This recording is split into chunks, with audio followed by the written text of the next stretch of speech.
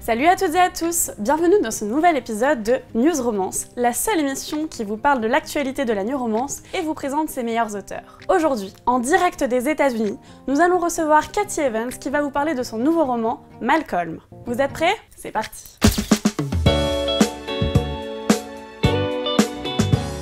Avant de recevoir Cathy Evans, je vous présente deux actualités de la New Romance.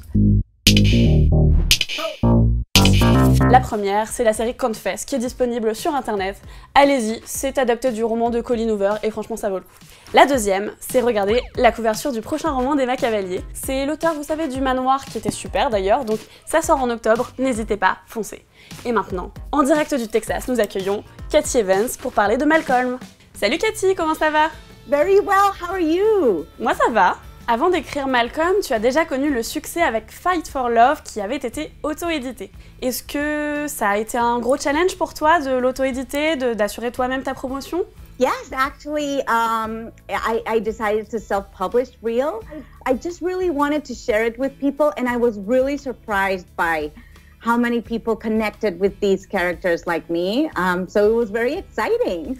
Je remarque que tu écris beaucoup de séries. Est-ce que c'est parce que tu as du mal à te séparer de tes personnages, que tu es très attaché à eux ou, ou pour une autre raison? I definitely get attached to to my characters. I usually find that the secondary characters make me curious and I always seem to want to go in and explore them, uh, find out what makes them tick. Um, it's just exciting to write books about people that you know. Uh, and every book gives you glimpses of their lives and what they're doing. So I find it really exciting. It's like family. Est-ce que au moment où tu écris ta série, tu as déjà un plan et tu sais à l'avance ce qui va se passer ou est-ce que ça te vient au fur et à mesure pendant que tu es en train d'écrire Uh, usually, I start with a general idea of who uh, the hero is, who she is, what kind of problems they will have and be facing and working through. But I don't outline every chapter, so it's still surprising, and the book usually takes a life of its own, um, which is exciting. It just keeps me um, with Man Whore in particular. I I just kept wanting to figure out Malcolm out, just like Rachel. I was like, who is this guy? Why is he doing this? Um, so it was just one of my most exciting writes. Ok, super. Merci beaucoup, Cathy, d'avoir répondu à ces quelques questions.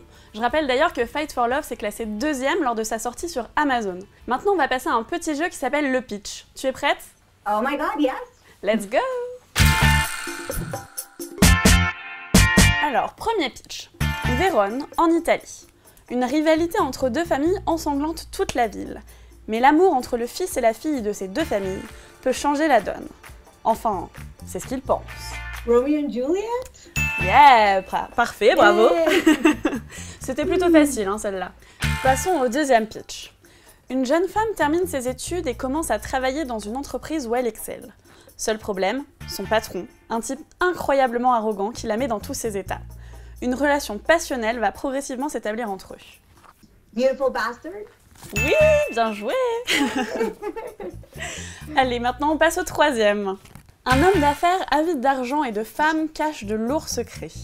Une jeune journaliste ambitieuse doit révéler ce qu'il cache. L'avenir de son journal en dépend. Mais elle était loin de se douter que le businessman allait changer sa vie. Man whore. Oui Bon, elle était pas très dure celle-là. Est-ce que Cathy, tu peux nous parler un petit peu plus de Malcolm maintenant? It's about this girl who finds the man behind the legend. Um, and is she surprised? It's surprising for them both. Alors Cathy, est-ce que comme ton personnage principal, tu caches de lourds secrets ou tu penses que tout le monde en a un en tout cas? I don't have big secrets, but I do think that there are some parts of us that keep some parts of us inside just because you don't want to get hurt or you don't want to be misunderstood. Alors Cathy, maintenant on va passer à un jeu qui s'appelle le If I Was. C'est un espèce de portrait chinois. Cathy, si tu étais un pays, tu serais? Ooh, Italy. Si tu étais une partie du corps humain? The heart. Si tu étais un film, tu serais? Love story. Et si tu étais une fleur? A violet. Et si tu étais un personnage de ton livre? Rachel from Manfor. She's persistent, hardworking, determined, but also passionate about what she believes in. I really respect and admire her. Bon, maintenant c'est le moment de passer à un nouveau jeu qui s'appelle What Comes Next. Toutes les auteurs avant toi y ont eu droit, donc c'est ton tour maintenant. Est-ce que t'es prête? I'm ready. Alors Cathy, je vais piocher des petites situations au sort et toi tu vas compléter en me disant ce que t'aurais fait. Allez, on y va. Alors, nous sommes au Festival New Romance. Tu enchaînes les dédicaces et les photos avec tes fans. Beaucoup de filles. Subitement, un beau et séduisant jeune homme vient te demander une dédicace. Il te tape dans l'œil. C'est un riche homme d'affaires. Il ouvre son livre pour que tu le signes, et là, tu vois marqué Si vous aimez l'aventure, retrouvons-nous ce soir sur le port. Vous ne serez pas déçus. Il t'offre un grand sourire et te laisse une carte avec son numéro de téléphone. Le soir, tu rentres à l'hôtel et tu sors la carte avec son numéro. Et là, tu... Call him up and ask him if he wants to be on my next book cover. Ah Ok, pas mal. Une journaliste te suit depuis des semaines. Tu le remarques. Elle connaît ton plus beau secret. Elle menace de tout dire à la presse. Tu n'en peux plus de cette situation. Tu décides d'aller la voir et de...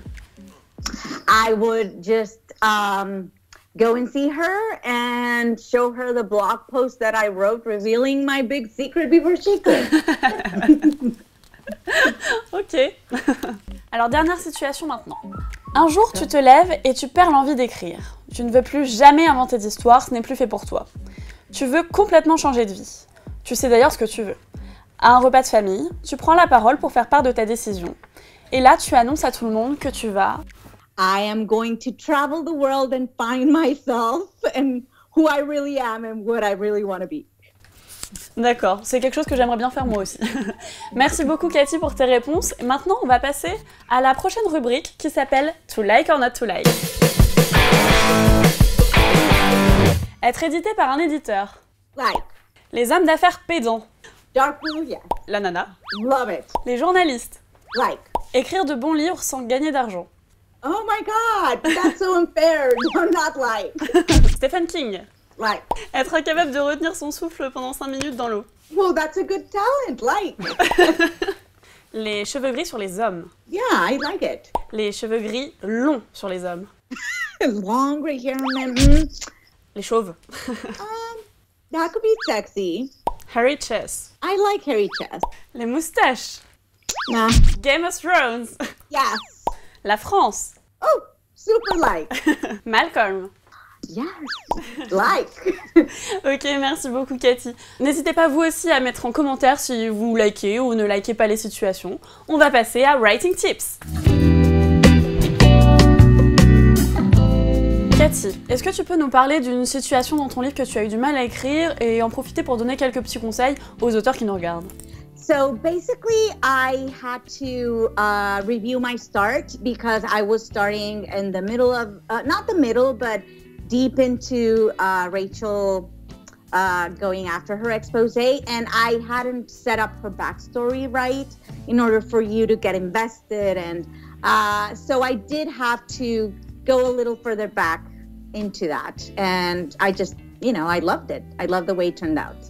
Et du coup, est-ce que tu peux donner quelques petits conseils aux abonnés qui nous regardent et qui auraient des difficultés à écrire leur début, par exemple, ou qui seraient bloqués sur une scène? Basically if you're having trouble moving forward uh, go back. Go back and look at what you have so far. It's tempting sometimes to add more start piling up the things to uh, create the drama but instead i find that uh, going slower sometimes is better uh, so that you set up your story arrow and make sure that it's moving forward and your reader can follow you through Ok, super, merci beaucoup Cathy, je suis sûre que ces conseils vont être très utiles. Voilà, notre émission News Romance touche à sa fin, ça va être euh, le moment pour nous de dire au revoir à tous ceux qui nous regardent. Cathy, est-ce que tu aurais un petit mot à dire euh, à tes lecteurs qui auraient envie de découvrir l'univers de Malcolm? I really hope that they enjoy this book and find it as exciting and exhilarating as I did actually writing it. Super, merci beaucoup Cathy en tout cas d'avoir été avec nous en direct des États-Unis. Voilà, News Romance c'est fini. N'hésitez pas à vous abonner à la chaîne, mettre un petit pouce bleu, laisser des commentaires. Et nous, ben, on se retrouve la semaine prochaine pour un nouvel épisode. Salut